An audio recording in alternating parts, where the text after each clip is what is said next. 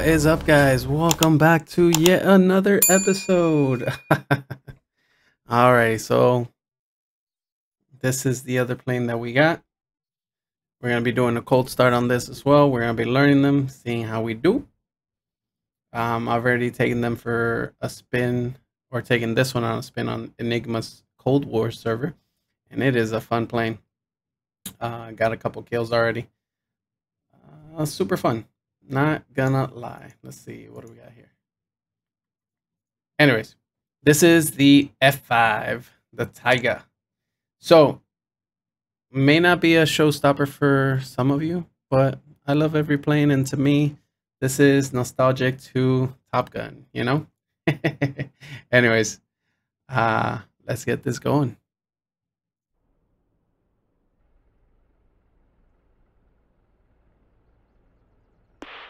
morning, pilot.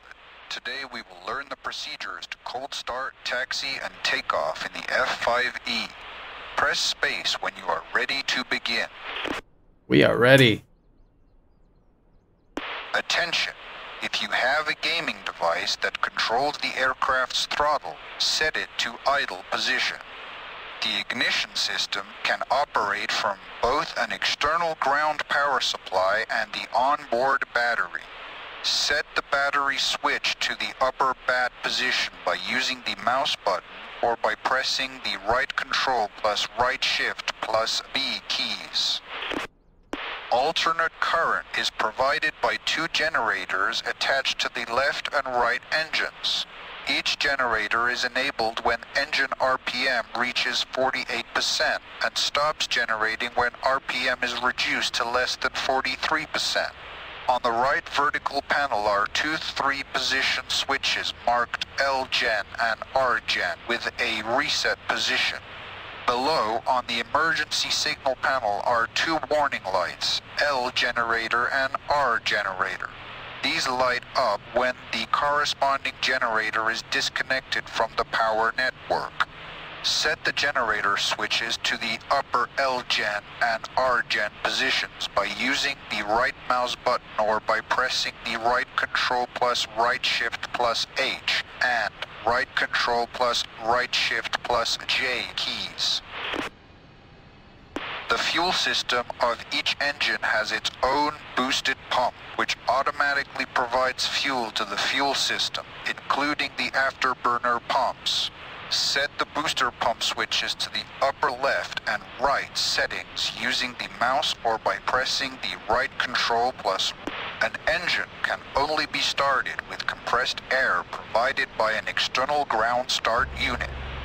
Compressed air spins up the engine compressor, which in turn provides air supply to the combustion chamber, creating a fuel-air mixture. Connect to the compressed air supply unit backslash radio menu, F8 ground crew, F5 ground air supply, F1 connect.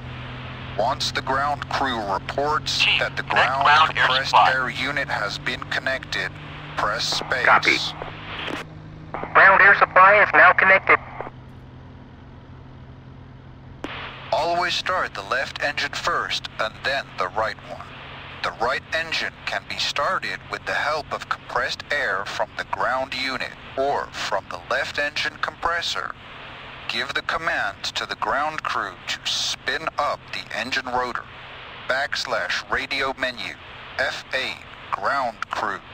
F5 ground air supply. F3 apply. Chief, apply ground air supply. Copy. Air is now applied. Once RPM reaches 10%, press the start button for the left engine located on the left vertical panel by use of the mouse or by pressing the left control plus left shift plus C keys. Then, set the left engine throttle to the idle position by pressing the right alt plus home keys.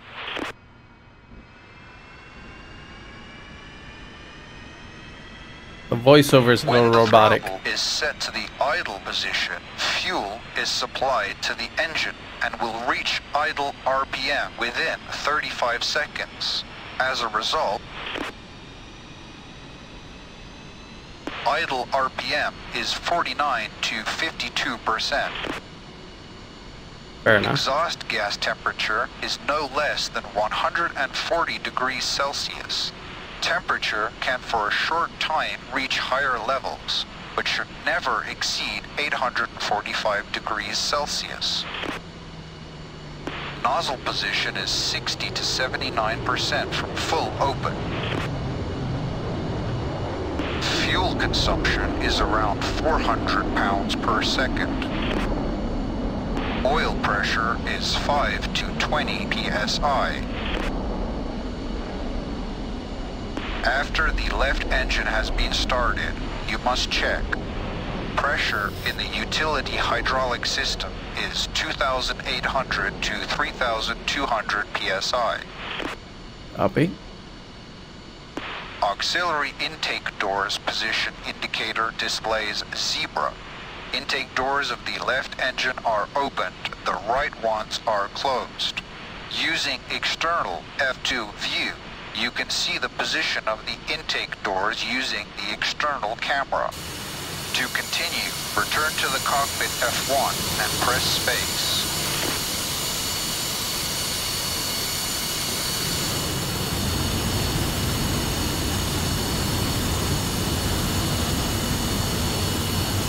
Alrighty, so that's open. That's closed. That's the only thing I see open and closed, but I'm sure that once this, we start the right, this will open. Alright. The right engine start procedure with help of the external compressed air is similar to the start of the left engine. The ground crew will automatically switch compressed air from the left engine to the right engine once the left engine reaches idle. Give the command to the ground crew to spin up the right engine compressor. Backslash radio menu. F8 ground crew. F5 ground air supply. F3 apply. Chief, apply ground air supply. Copy. Air is now applied. Once the right engine RPM reaches 10%, press the right engine start button located on the left vertical panel using the mouse or pressing the left control plus left shift plus V keys. Then, the right engine is now reaching idle RPM.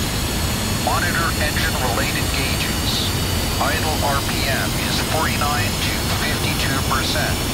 Exhaust gas temperature is no less than 140 degrees Celsius. There it is. Nozzle position is 60 to 79 full open. Fuel consumption is around 400 pounds per hour. Oil pressure is 5 to 20 psi. Pressure in the booster hydraulic system is 2,800 to 3,200 psi. Auxiliary intake doors position indicator displays the word open. After a check of the engine gauges, press space. Looks like we're all good.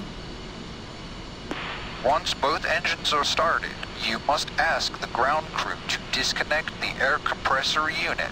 Backslash radio menu. Chief, F8 disconnect ground air supply. F5 ground air supply. F2 Copy. disconnect. Ground air Once the supply is now ground crew disconnected. reports that the ground compressed air units have been disconnected, press space.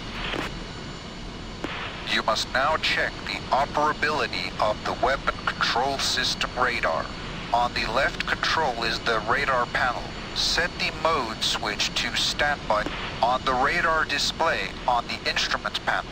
Wait 30 seconds for the horizon line to be displayed. The radar will then switch to warm-up mode. Warning. Due to the possible overheating, the radar can operate on the ground for no more than 10 minutes. If necessary to stay on the ground longer, set the radar mode switch to the off position and return to the standby shortly before takeoff. To set the mode switch back to the off position, use the left mouse button or press the 9 key. On the lower side of the fuselage, in front of the main landing gear compartment are two hydraulically operated air brakes that can be deflected down to 45 degrees. The air brakes are controlled by the three-position thumb switch on the right engine throttle. Set the air brake switch to the retracted position by right mouse clicking the switch or by pressing the left control plus B keys.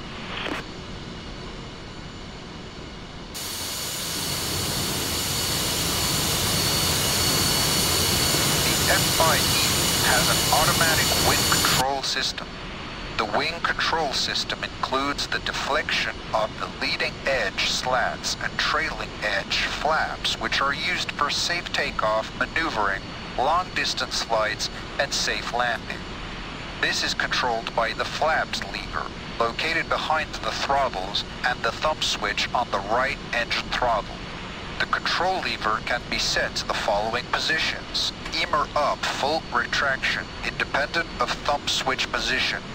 Thumb SW, mechanization is controlled by the thumb switch. Full, full extension, independent of thumb switch position. The thumb switch has the following modes.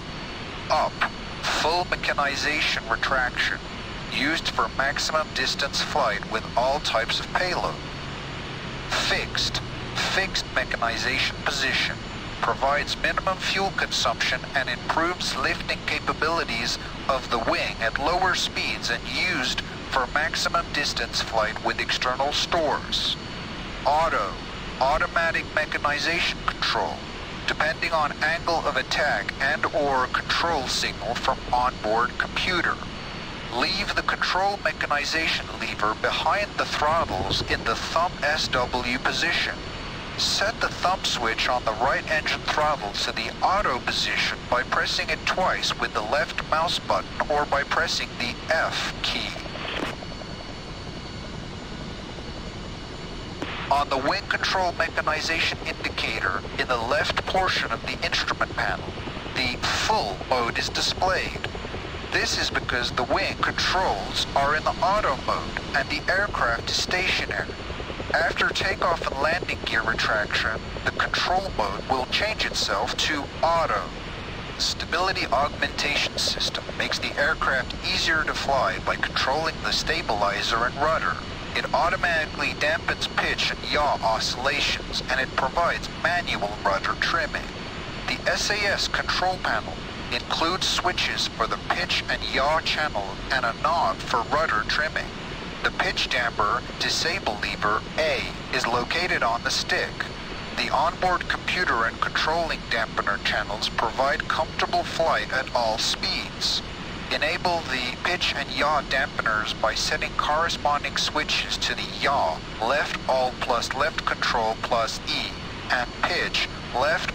It is now time to set the pitch trimmer for takeoff, depending on aircraft configuration, presence of pylons, stores, missiles on launchers, and gun ammunition. If the trimmer is now set to takeoff position, a strong negative pitching movement will occur at takeoff. This can result in a crash, especially if the aircraft has a significant takeoff weight. Optimal positions of the pitch trimmer pointer for various takeoff configurations. No ammunition for guns, no stores, 6. Drop tanks, ammunition, missiles, 7. Drop tanks, ammunition, missiles, bombs, rockets, 8. Ammunition, missiles, bombs, rockets, containers, 9. Because check to make sure that the airfield pressure is set correctly on the altimeter. Set zero altitude on the altimeter using the pressure knob by pressing the left alt plus left shift plus A and left alt plus left shift plus S keys, or use the mouse wheel.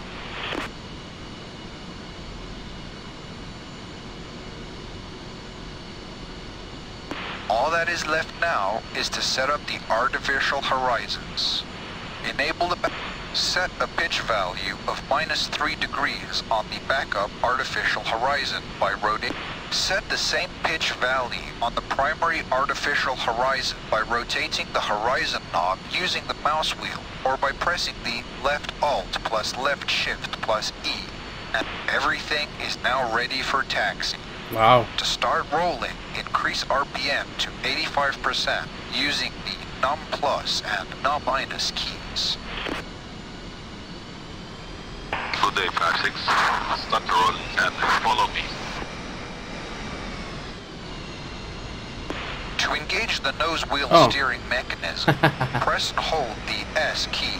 The nose wheel will now follow your rudder pedal inputs, Z and X.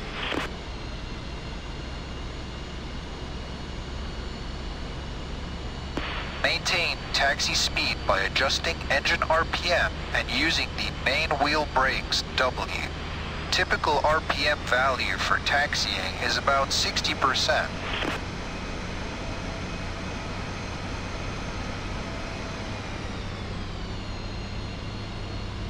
That Humvee must be like, oh shit, he's coming. So, nose wheel steering, used it to obviously get behind the Humvee, but at this point, I'm using brakes, differential brakes, to keep centered.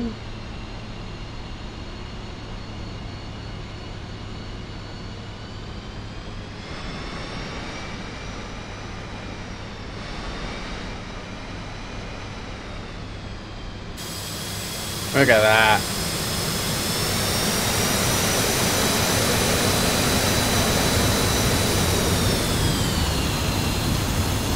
Right on his booty.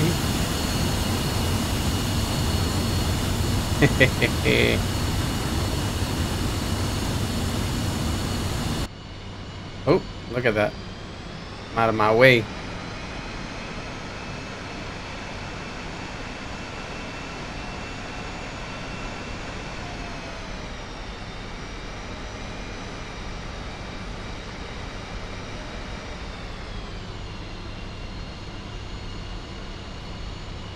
There it is.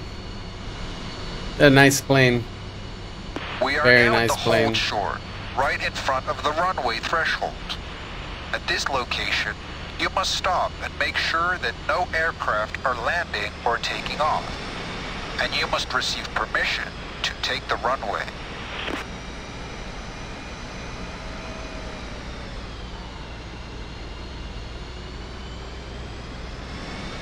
Okay, permission received. You can take the runway. We can take the runway. Beautiful. So now for this corner, we're gonna activate or turn on nose wheel steering. Start turning using our rudders. Roll stride. Line up along the runway axis and stop.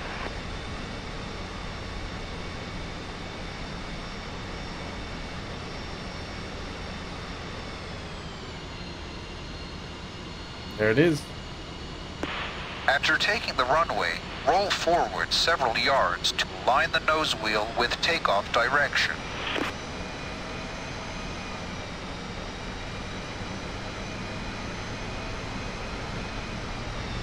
Thank you, sir. Much appreciated. Flight 6, breaking with you. Good luck. Out. Several yards, he said. The nose strut of the There it is. F5E has two settings. By controlling the nose strut switch, located above the left console, you can change the height of the strut, thus changing longitudinal pitch of the aircraft by 3 degrees. This reduces takeoff roll. During retraction, this strut shortens automatically.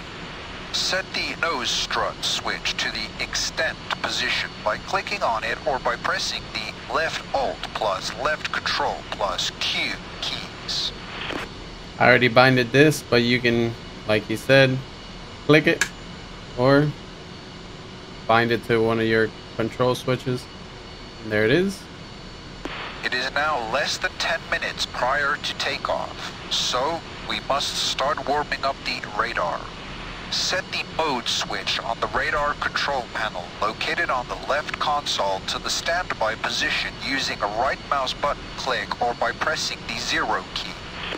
On the horizontal situation indicator, located in the center of the instrument panel, use the course knob to set the course pointer to 88 degrees. Do this with either the mouse wheel or by pressing the left alt plus left shift plus 4 and left alt plus left shift plus 3 keys. The set course is displayed in the course window. Check for the absence of pitch value on the main and backup artificial horizons.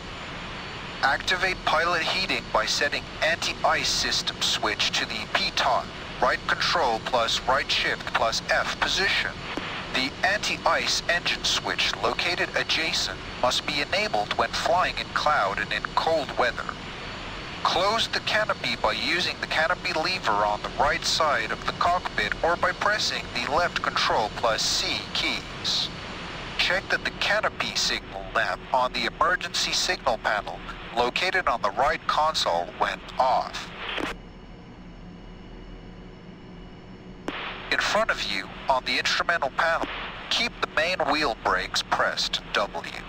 Increase engine RPM to 95% not plus.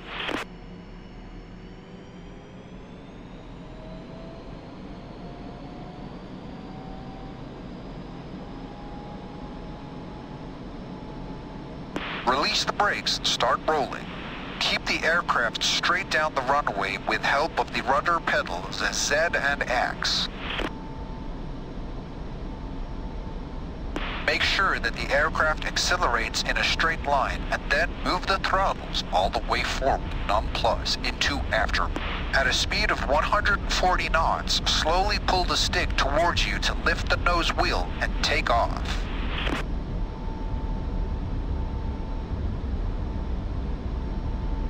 Rotating. Come on. There we go. When airborne, retract the landing gear G.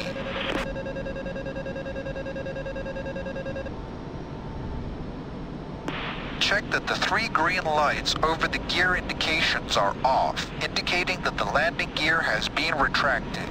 Yep. Adjust the pitch trimmer to remove pitch forces from the stick, right control plus semicolon and right control plus period.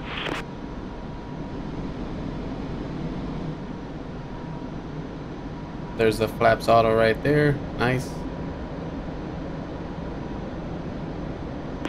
When the aircraft is fully fueled, the right engine tank contains 580 pounds more fuel than the left one. This Nice. causes imbalance and the aircraft flight dynamics change during the flight.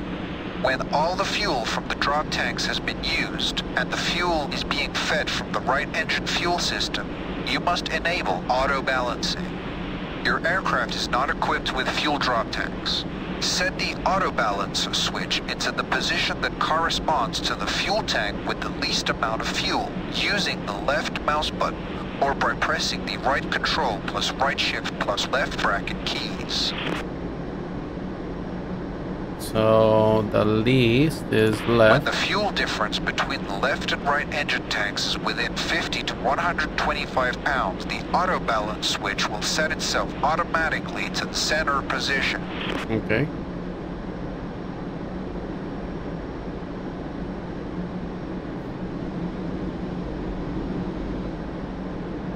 You took off. Well done. It's interesting that the pedals are so shiny. You see Press that? escape to finish the lesson.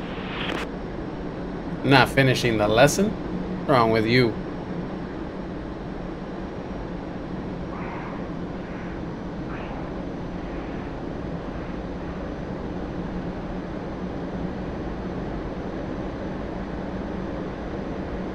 Let's go into the mountains as well, like we did with the F-16.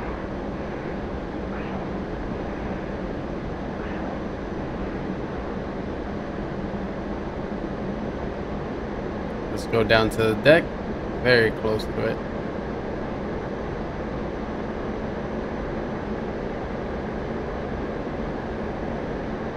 already.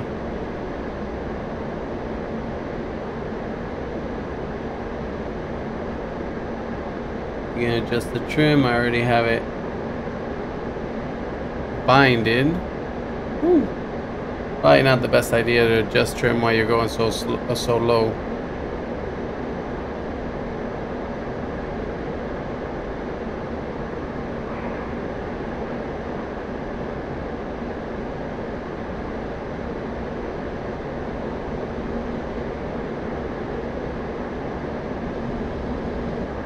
This game is amazing.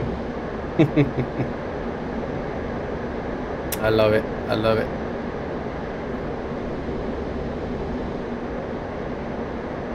Such a tiny, tiny plane.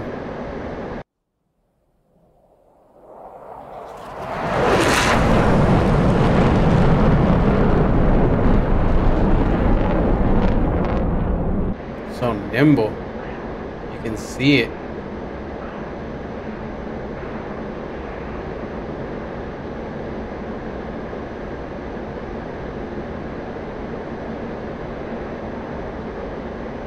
Let's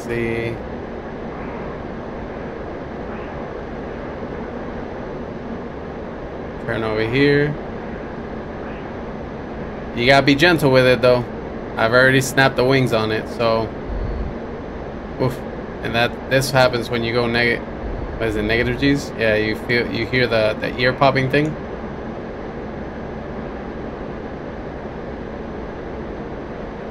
And oof.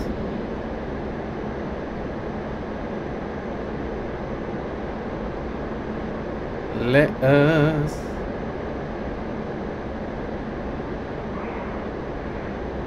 turn here. Look at the clouds.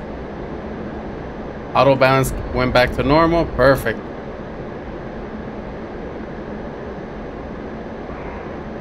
That's cool. In the clouds right there. Trying to bring the trim down back to zero where we had it. Whoa! You whoa. your aircraft. See what happens? Mistakes and try again. you can do it. Well then, as I mentioned, don't jerk the stick too hard, because you will snap your wings. Anyways. Ah, hit that like, hit that sub, and I'll catch you in the air next time. Peace.